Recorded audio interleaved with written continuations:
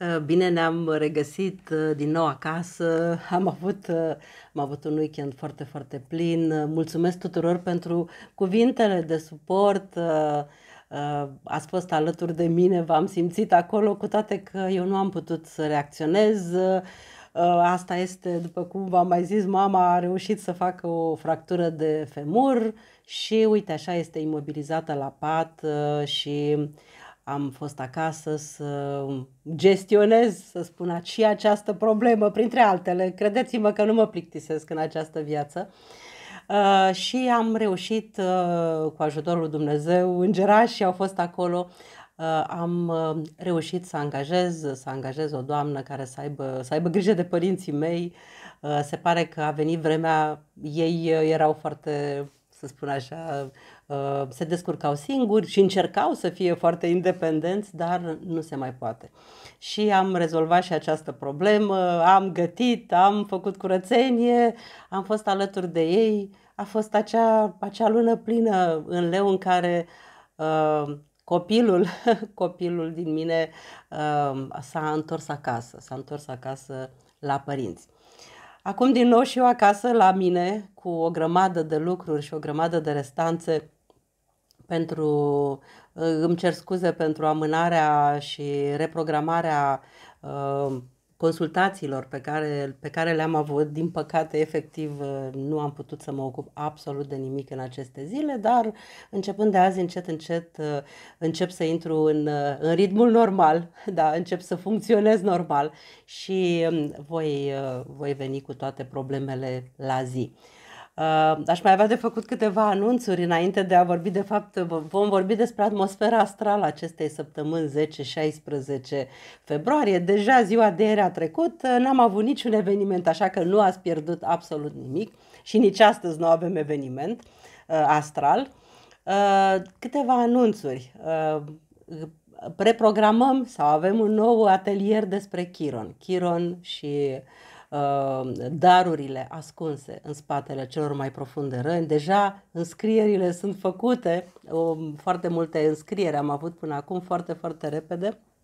Trebuie să-mi revizuiesc listele, am primit și telefoane, nu am avut timp efectiv să, să notez, să mă organizez, deci acest atelier va avea loc în data de 25 aprilie. Da? Vom uh, lansa acest uh, atelier și pe, uh, și pe Facebook ca eveniment, dar efectiv am fost luate și eu și, și Luminița, Lificiu am fost luate pe sus de alte evenimente personale și nu am avut timp, dar vă anunț pe această cale.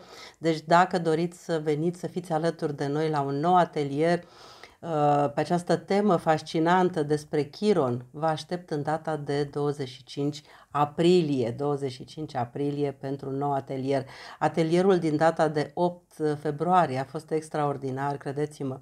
Au fost 20 de persoane care au lucrat. Eu, noi am lucrat, ne-am pregătit uh, uh foarte mult, ne-am pregătit această, aceast, acest atelier, fiindcă uh, este un atelier la care Trebuie să te pregătești dinainte, să oferi niște informații legate de ciclul lui Chiron fiecăruia dintre participanți, niște date pe care ei să le valideze și cu care să mediteze și să se conecteze astfel încât să vadă, să învețe și să integreze și să-l conștientizeze pe Chiron.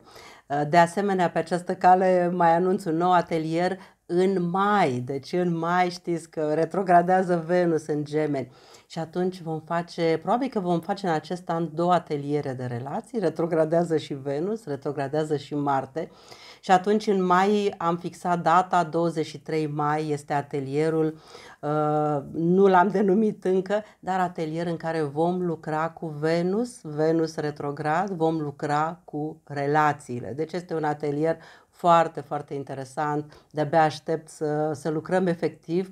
Uh, aceste ateliere, să spun așa, experiențiale pe care le facem, uh, sunt conectate, pleacă de la astrologie, dar se duc dincolo de astrologie, fiindcă venim cu partea aceasta de lucru interior, meditație, conectare, energie de grup. Credeți-mă, este, este foarte frumos. Este foarte frumos și uh, Uh, este un, uh, un proces foarte profund pe care îl facem și uh, o să mai fixăm un atelier și în toamnă când uh, retrogradează și Marte tot despre relații. Deci avem treabă în acest an și cu relațiile. Acestea ar fi, să spun așa, anunțurile astrologice legate de, de, evenimentele, de evenimentele noastre. Uh, de-abia aștept și tabăra, da, tabăra de la, de la Costești între 19 și 22 iunie. Uh, sunt, uh, sunt evenimente frumoase, sunt evenimente interesante prin care vom, vom lucra împreună. Aș mai vrea să mai fac un anunț. Nu este, foarte, nu este legat de astrologie, dar este un anunț care s-ar putea să vă intereseze. Uh, eu am o prietenă foarte, foarte bună care, care stă în Germania, deci locuiește în Germania de câțiva ani, lucrează acolo, uh, stă în Trier, da, în Trier, lângă Luxemburg, în zona aceea de, de sud a Germaniei și uh, Uh, a fost binecuvântată, da, cu acest nod nord în, uh, în rac și uh, nodul sud în Capricorn pe această axă a fost binecuvântată cu un băiețel, are un băiețel de două luni și uh, are nevoie de ajutor. Are nevoie de ajutor fiindcă uh, trebuie să se întoarcă și la servici și are nevoie de o persoană uh, pe o perioadă de 2 ani Uh, cu posibilitate de, de prelungire, dorește o persoană din România care să vină intern, deci să stea la ea acasă și să aibă grijă de copil și să aibă grijă de casă, astfel încât ea să poată să se, se ducă la, la serviciu, are o muncă de răspundere și uh, are nevoie de acest ajutor. Preferabil o persoană care a lucrat cu copii, asistentă medicală, deci cineva care să aibă, să aibă calificare în, acest, în această zonă. Deci dacă vă interesează, eu am clienți care lucrează în Germania, clienți care lucrează în străinătate sau în alte țări. Deci dacă vă interesează Germania, dacă vă interesează să lucrați în Germania, la Trier, da? Trier este un oraș foarte frumos. Eu am fost, am fost în vizită foarte aproape de granița cu Luxemburg. Este un orășel liniștit, un orășel foarte, foarte drăguț. Uh, să aibă grijă de acest băiețel minunat, acest dar de la Dumnezeu al, alături de prietena mea care este și ea un om foarte, foarte special. Uh, vă rog să mă contactați, vă rog să mă contactați, trimiteți-mi uh, CV-urile, trimiteți-mi referințele voastre și uh, ea are nevoie cât se poate de repede de acest ajutor.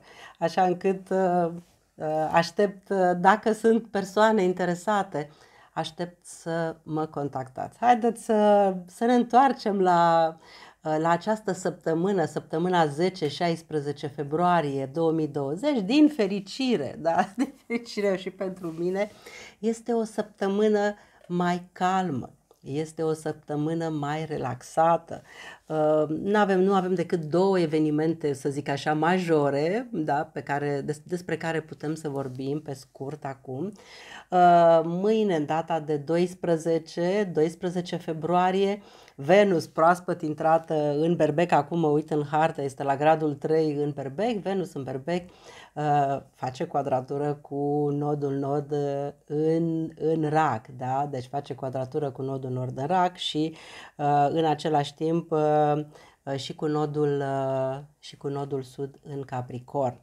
Deci uh, uh, ce să spunem despre această quadratură? Este o mare provocare. Orice quadratură este o provocare.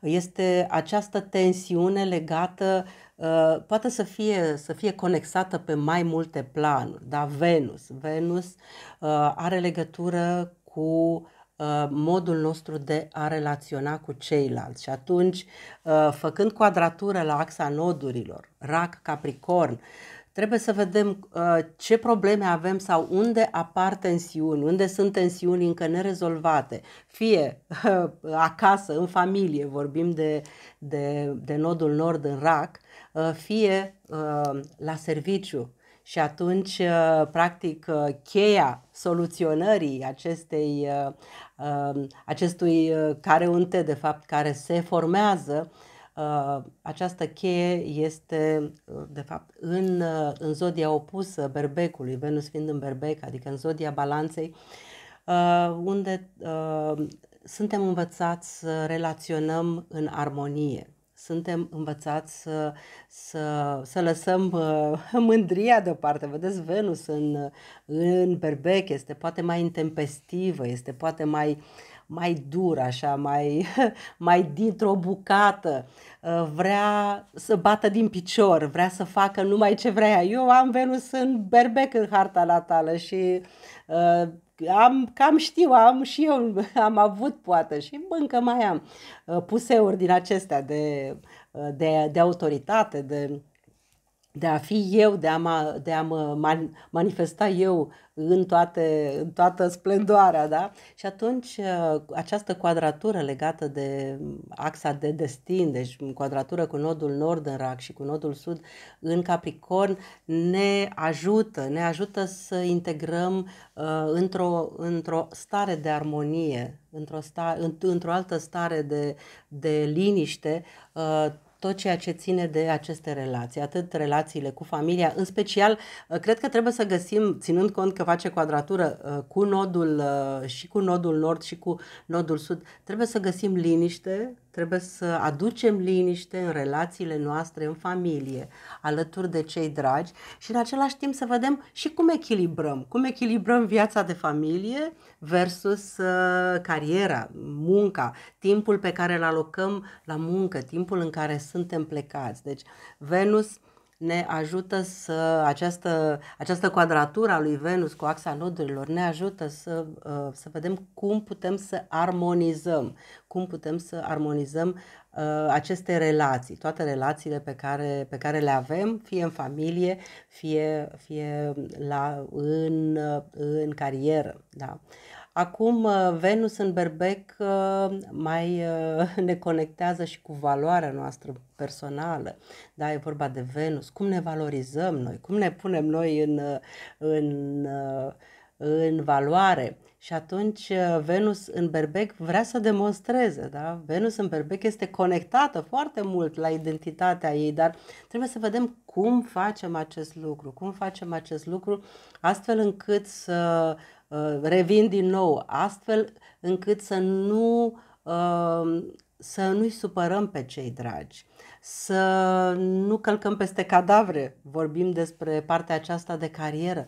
Totul ține de uh, armonie și echilibru. Deci Venus în berbec în această quadratură cu nodurile, cu axa nodurilor, ne va ajuta azi să integrăm cum putem să să reacționăm, cum putem să acționăm altfel atunci când vrem să, să, fi, să demonstrăm sau să arătăm cine suntem noi.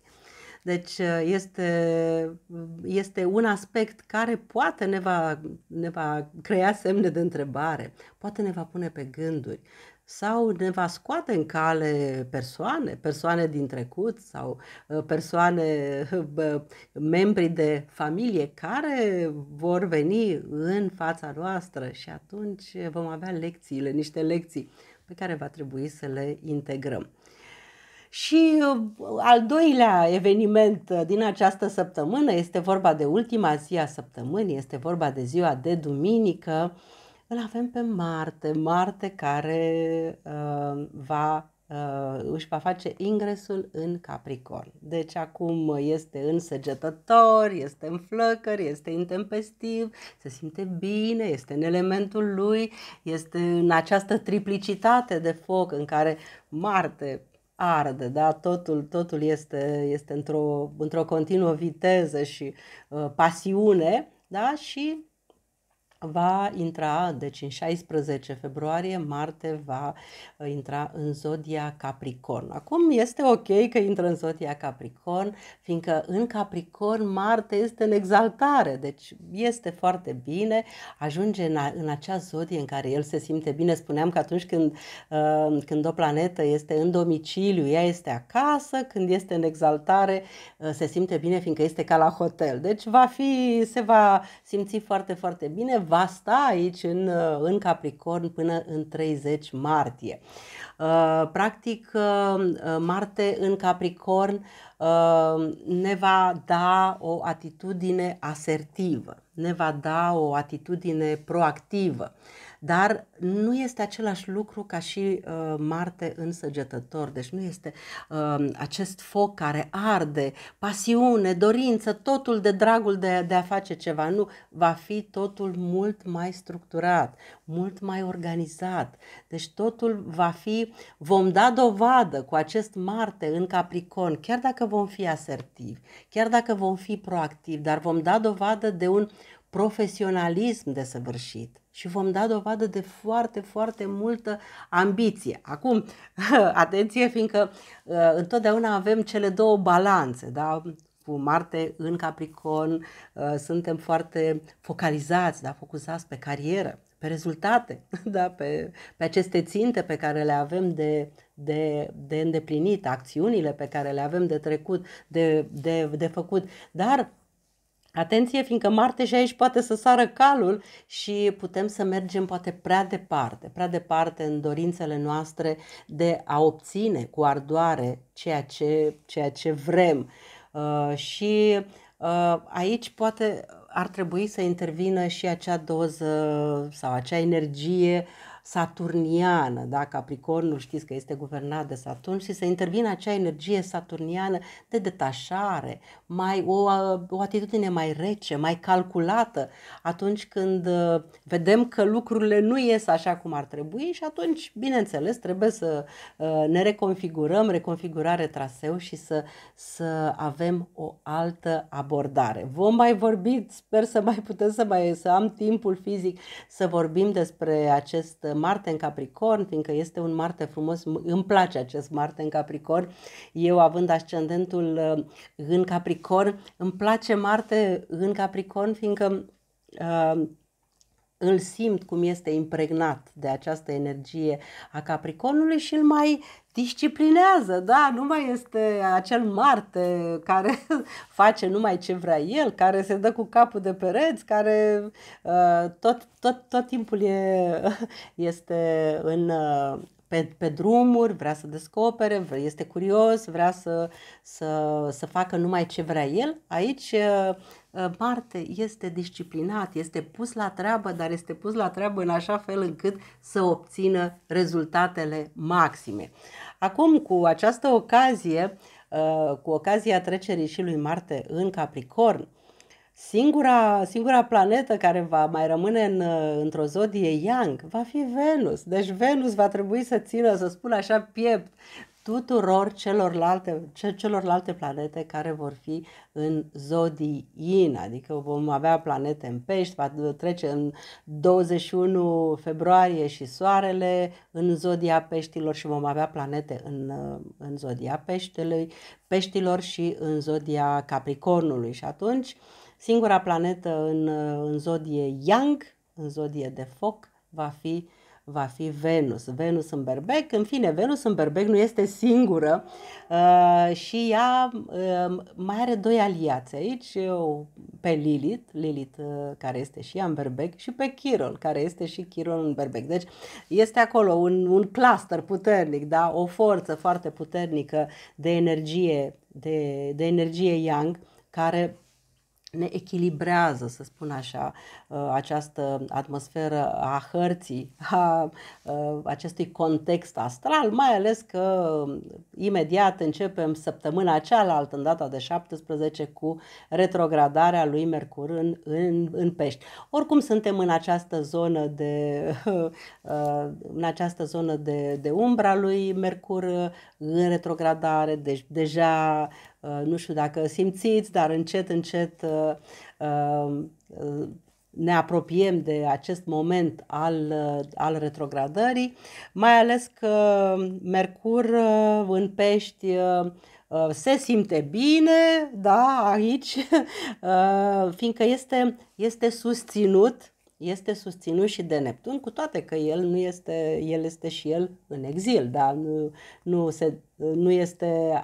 acasă la el, este și el exilat, dar dorește să demonstreze și el, dorește să ne ajute așa cum poate el. Și ne va ajuta fiindcă este un tranzit important, fiindcă Mercur în pești va sta până în data de 11 aprilie.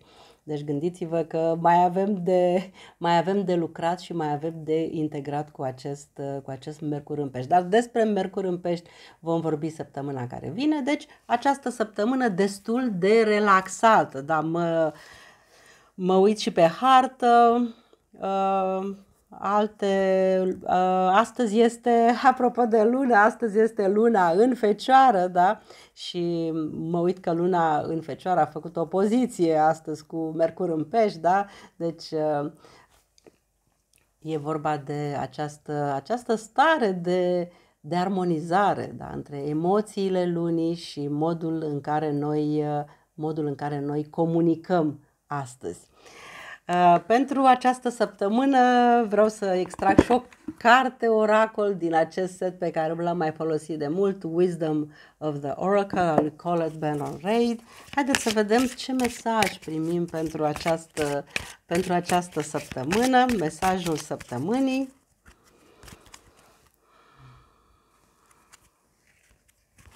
Și mesajul acestei săptămâni este observator, observer, da, vedeți și luna aici?